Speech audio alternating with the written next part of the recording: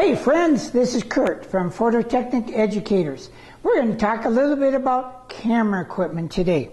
You know guys, whether you own a Nikon or a Canon or any other particular model, what I need you to do is sit down with your camera and your manual, manual and read it from cover to cover. There is so many functions, so many menus, and these digital cameras compared to a, just a straight, easy to use film camera that you are really going to need to study, study, study. All right, guys, whether you have a camera with a strap on it or a camera on a tripod like this, again, all I'm doing is just helping you out with some of the different functions of our cameras today. We're going to incorporate what I call a checklist, whether it's mental or you have an actual sheet of paper and you check it off. It's the amount of lenses you're going to use. It's the CF cards that you might take with you. And when you're packing them in your camera bag, it's to put them in the same slot, same time, so that when you're ready to leave, you can look quick and realize I'm missing something, go find it. All right, guys. So basically, what are we going to talk about? One is a little rag we want to make sure our lenses are cleaned off, right? Front and back of the elements. Few things that are what I use is taking your lens cap and actually writing on the back of it what millimeter lens this works. So that way, if I'm looking for lens caps, and, and with my Nikons, they're different sizes, I can put the 7300 and I've got the cap right with it.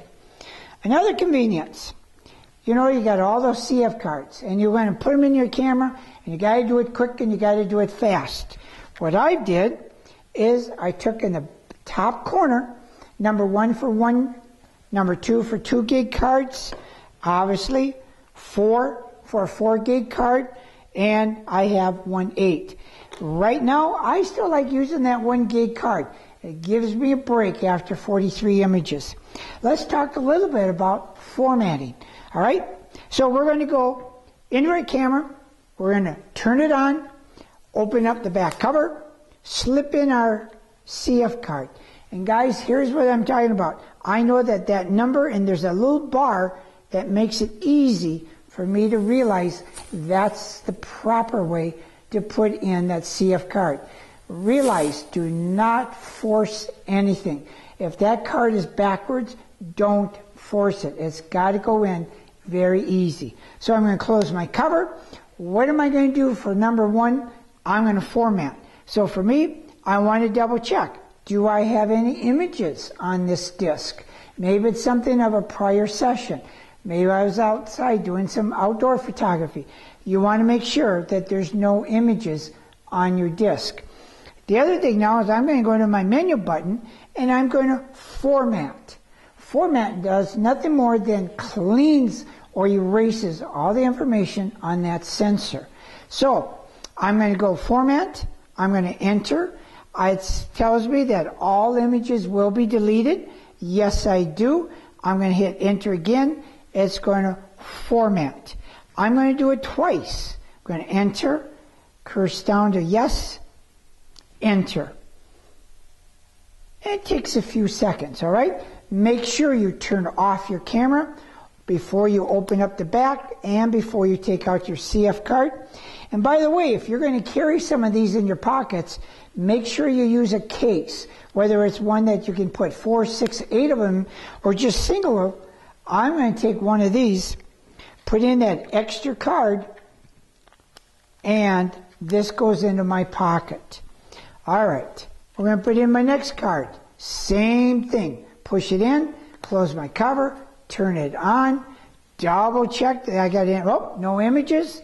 I'm going to hit my menu button, to press enter, and I'm going to double format this once again. The reason why, I want to have a clean slate. So when I'm out on the job, my items are all ready, my CF cards are all ready to go. All right, we're ready to go photograph. So let's talk a few of the functions, some of the menus that we have in our cameras. As you can see, we've got many, many different options. That's where that manual is going to come in, guys. So, what I'm going to do is skip a lot of them, but the ones that I want to talk most about are the ones right in here called ISO. What is ISO? International Standards Organization. Forget about all the rest of the stuff, but what it is, it's the sensitivity of the light going on to your sensor. All right? So as we take a look, we got ISO ratings on my particular camera as low as 100. We can keep going up. There's 320. We go up higher, 640.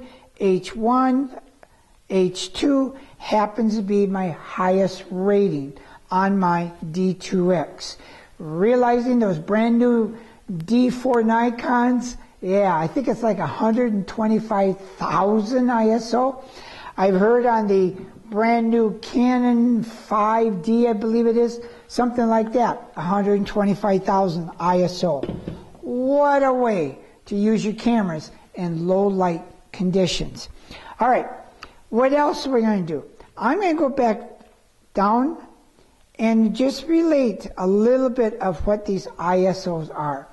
If it's bright, bright sunny day, I'm going to use 100, maybe 125, maybe 200, depending on my shutter speed f-stop combinations. All right? It's mid-afternoon. I'm in overcast shade. I may be in that 2 to 4, maybe 640 range. Evening, dusk. I want to be more in that 800 on up range. Gotta realize the higher that ISO setting that you put on your camera, such as that 800 or H1 or H2, you're going to get grain. And grain is nothing more than noise on that image. So, the cameras are pretty smart. And what they do is they build a little blur into that to help you out. But what it does, it also blurs your image. So be real, be careful in that A, you may have to use a good sturdy tripod and bring down your ISO settings to a more manageable rating that you can work with and won't have so much of that grain. As you notice, I have other items on my camera, and that's called mode. What is mode? That is nothing more than the different settings of our camera. We can be on M for manual. Again, I need to press the mode button, turn my wheel. I can be on P for program. I could be on S for shutter priority or A for aperture priority. What does all this mean? Essentially, A for aperture. I'm going to set my aperture, I can be at maybe f4.5, maybe 4. I'm going to have a very, very shallow depth of field. Let's say I'm going to be out doing some scenics and I'm in the mountains and I want everything from my feet all the way back to the God's country. I may want to be at F16. I want everything in focus. All right? What is my standard? F8. So by turning it on, I'm going to be again somewhere around F8. When you're on aperture priority, realizing folks that the camera is going to set the shutter speed. So let's say you're out doing some action. Let's say you're going to do the grandkids on the soccer field. Well, I'm going to go back to my mode button and I'm going to go to S for shutter speed. Here's where I may now want to have that greater amount of a shutter speed. Again, 320, 500, 640th, that's how fast that shutter opens and closes and the camera is going to pick the f-stop or the aperture that's going to work the best. What's the other two? Well, M for manual. That's where I'm going to do all the thinking. I'm going to pick the actual shutter speed and the actual f-stop or aperture rating. Again, there's a meter inside my camera. I want to have everything at a zero rating if I'm confused, I also can use an incident or reflective meter to help me out. What was that other one? Well, guys, I just really don't do it. It's P4 program. The camera does all the thinking. It's going to pick the shutter speed. It's going to pick the f-stop. It's going to pick everything. And I'm not into P for program. I love A for aperture. I'm going to tell the camera what I really want it to be. I want to be a, a slight, slight in focus, out of focus, called our depth of field. I may pick that 5.6. I'm doing portraits. I want to make sure they're all in focus. I'm going to be at 7.1 f8. What is that? 6.3, 7.1? It's nothing more than the third stop ratings between 5.6 and f8. All right, we've talked about our mode. Obviously, we got our on, our on and off. Obviously, we have our ISO ratings. Let's talk about quality. Quality is the information that these sensors are going to pick up. I like to use R for raw. And it's not going to say R, but it's just going to have raw.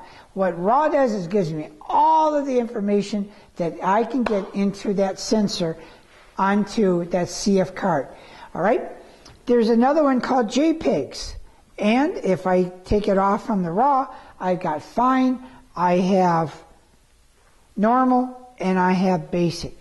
I am not a JPEG only shooter. There's too many times my lighting conditions may be wrong that I'm not going to be able to get a perfect exposure and a perfect print. So I'm going to use raw and I'm also going to use raw and basic. So basically internally in the camera, what I'm doing is essentially saying I want to have all my information as raw and as a basic JPEG just in case. Realize guys, I'm just photographing the back of the wall. You're not going to see any picture images in here. All right, white balance. Oh my goodness. Okay, what is white balance? White balance, as you can see, the pre is blinking, is a way for me to set my camera when I'm using strobes. All right. Internally in the camera, it will, I just want to say justify everything together. All right. I'm going to go back to A for auto. Most of my outdoor portraits, most of my scenics, I'm going to use A for auto. However, there's times that I do need to be more specific and I am going to use one that is shade. And maybe I'm in a, a shady environment and I'm going to be staying in that shade environment. All right? I can use the shade button. Or I was into another scenario and we were into some very heavy fluorescent and using that fluorescent kind of takes out the green that can show up. So let's be careful where that white balance is set. So it's very easy to accidentally press that little button and move it. Be cognizant, always looking at your information back here. Realizing too, if you tip your camera, sometimes on the top window, but I know for sure through the viewfinder, you also will have the same kind of information. All right, guys, we've talked a little bit about that. We've talked a little bit about different lenses. We've talked about cameras. Let's talk about why I use a tripod. Maybe I'm outdoors and it's kind of overcast and I really don't want to be on a very high shutter speed. I want to be in a lower shutter speed. I'm not that strong that I'm going to be able to hold that camera perfectly still. Having that three-legged wonder makes it still. All right? Now, in that scenario, I also have a tilt and revolve base. I want to do a vertical picture. All I have to do is turn my camera. I want to go back to horizontal. All I have to do is go back to horizontal. Very, very consistent, but also makes life much easier that I'm not changing the tripod. I happen to use a Bogen um, handy grip, I guess they're called, and within that, everything is in the same plane between the vertical, horizontal. All right, maybe you don't want to carry that tripod, there is a little critter called a monopod. And essentially, a monopod will give you that up and down, whatever you need it. All right. And again, I would take off my brackets and mount that to my monopod. For right now, I'm not going to be relating to it, so I'm just going to collapse it and leave it here on our table. All right, so let's just kind of summarize a little bit. We have, of course, our camera. We have our manual that we're going to study, study, study. Every once in a while, something in the back of that manual is going to pop up and you're going to wonder, what is? All right, let's talk about your camera settings. Let's talk about one that's called mirror up. Let's say that you're going to photograph something that you want to have that camera to be very, very still. Setting this camera on mirror lockup, it's going to lock it up, but you've also got to go back to one more little item way in the back, up here in the little, um, I'm going to call it menu buttons or menu wheel, it says mirror up. So literally when I click it, it's going to pop the mirror up. Nothing's going to happen to it. It's quiet. And I'm going to hit the button again and that will essentially take the exposure. All right. I want to make sure that also I'm off on that when I don't need it. All right. You notice right now I'm on format. I would just kind of hit my little buttons and make sure that it's on the side menu, that I don't accidentally hit menu. All right, we talked in, in one of our other series by my wife Andy, she might have talked about deleting, talk about formatting. We've already talked about that double format, right guys? All right, what happens if you want to start taking images within your camera and hit D for delete? Well, you can do it, but it isn't the best. I would rather prefer that you hit D for delete in your camera or in your computer. All right. Let's go into one more item here. I want to cover something else in our white balance. Remember I talked about my quality, but my white balance being A for auto?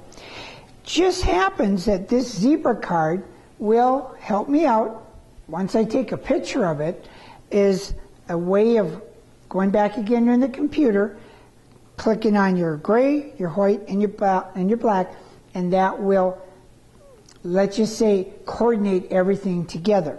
But maybe you're just a little bit confused to what is a good exposure or not such a good exposure. It's really looking at the histogram. And if you really look at it, we want information on the far left, far right, and right down the middle. Whether it's color, black, and white, we want information in all those three zones. In this particular card, you're going to see a half a stop, stop and a half, or even two and a half stops. You notice that we got all the information is all on the far right, very, very little on the left. You're going to have problems in printing these three uh, scenarios here. Half a stop under, half a stop under. Again, more of the information is coming to the left side instead of being right in the center. Talked a little bit earlier about fluorescent. All right, we have auto white balance, daylight, shade, fluorescent, incandescent. Again, these are different lighting conditions that you could be in.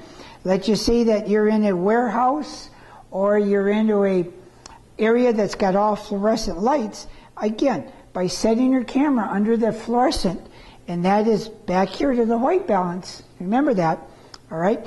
That's going to help out taking some of that green cast out of your pictures. So what is a perfect exposure? It's when the highlights, the shadows, and those gray midtones are all in that perfect scenario. Are we always perfect in every exposure? No way. Again, that's why I like to shoot on RAW. It's a way of adjusting all those, all those exposures in the camera or in the in the computer. It's a way of adjusting all those exposures in our computer so it can give us a better result at the very end. All right. remember, we want to watch that histogram. So I'm just going to take a picture of the wall. All right. I'm on, still on mirror up. I'm going to click it again. I have an image of the wall. If I click through this, here's my histogram. All I've got is just something down the middle. Why? There's really nothing that's distinguishable between black, white, or gray. All it is is just a mid-tone. So again, if I'm outdoors, I want to kind of watch a histogram. For me right now, guys, I want to take and move this back to C or S for continuous, C for, I'm sorry, S for single, C for continuous shooting, and that way I have, again, my normal systems. We can use that 18% gray card. There's uh, different discs. There's all different sorts of using some kind of a way to let your sensor know I have white, gray, and black. Let's say you're doing a wedding. You got a groom in a black tuxedo. He's got his white shirt. Black, white. Perfect. That will work also. All right. Double check. Nothing else. You got problems? Grab that incident reflective meter, and this also will help you out by just taking a meter reading of that scenario or wherever that location is. All right, let's kind of summarize a little bit, guys. You got to know your camera equipment, whether it's the Nikon, whether it's a camera, whether it's one of these little point and shooter compact cameras. You got to know what the different functions are. You got to bring that manual back out. You got to sit down with it. Yeah, you can always find where the on and off button is, but in some of these, there's a way of viewing of what you have photographed, and that's nothing more than moving a little button in the back. If we tip it over, in this particular one that we have P for program, TV is not TV that you watch, but it's your shutter speed priority. AV is aperture. M is manual. And honestly, see, I have no idea what this little camera is. What we do also have is P for program, A for auto.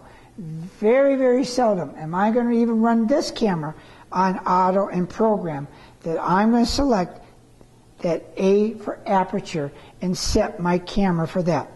All right. We're also going to know what your lenses can do.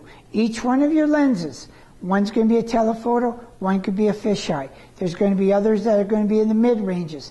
Each one of those is going to give you just a slightly different exposure because the glass within that lens may be just a little bit different from this particular one that is a 18 to 70 versus my longer 70 to 300.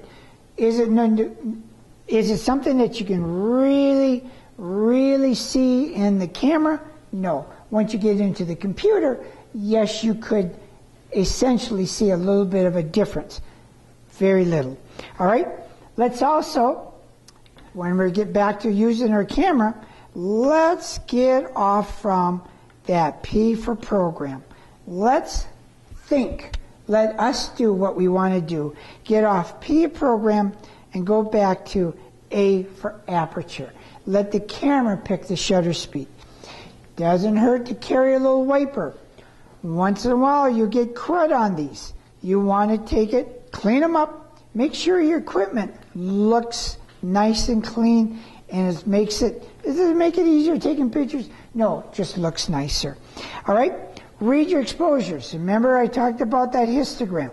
All right? We're going to bring up an image. Well, we don't want to format it, but we're going to look at the histogram, and we want to make sure that we got information on the left, middle, and the right. Again, remember I just photographed the wall. All it's going to do is give me that gray tone. All right? We're going to keep in our mind not only that exposure readings, but we also got to do something with those CF cards. And it's called backup, backup, backup.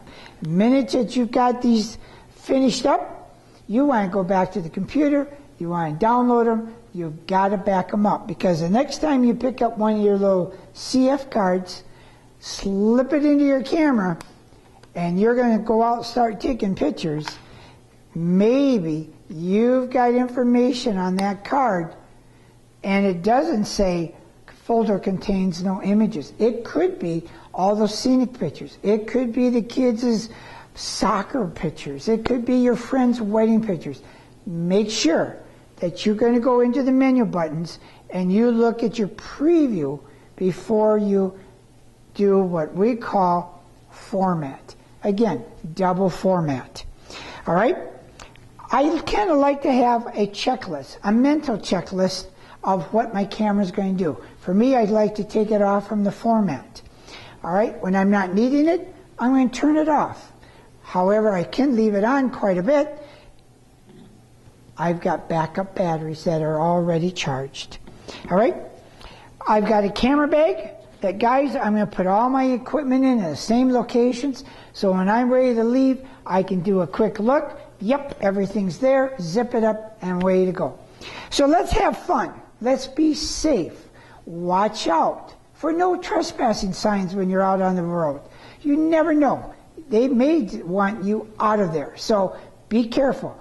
Is that old adage, ask for forgiveness, then permission? Yeah, it's up to you. Again, realizing you want to be safe. You want to be safe. And shoot plenty. You know, guys, click away you want, but edit. Edit heavy. You don't need to keep the other 18 pictures when you only need one or two. So guys, thanks a lot for joining me with Phototechnic Educators. We'll see you again next time.